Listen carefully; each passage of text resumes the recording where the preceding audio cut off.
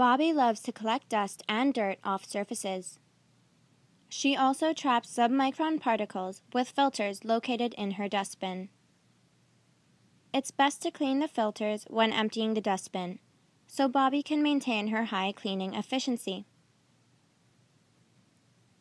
Removing the dustbin is as simple as pressing a latch on the back of bObi. Push the button to release and slide the bin out. You will find two small notches on the sides of the dustbin. Using both hands, pull them upward to unlock the dustbin door. Once the gate releases, pull it upward to empty the dustbin completely.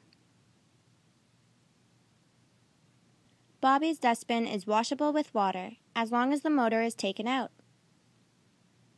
Should you like to wash it, press the small button on top of the bin and the motor will pop out. To clean the filter, flip the bin over and you will see the HEPA filter. Then lift up the clear filter cover and remove the filter. Use the cleaning tool to brush away the collected dust. Then replace the filter and close its cover.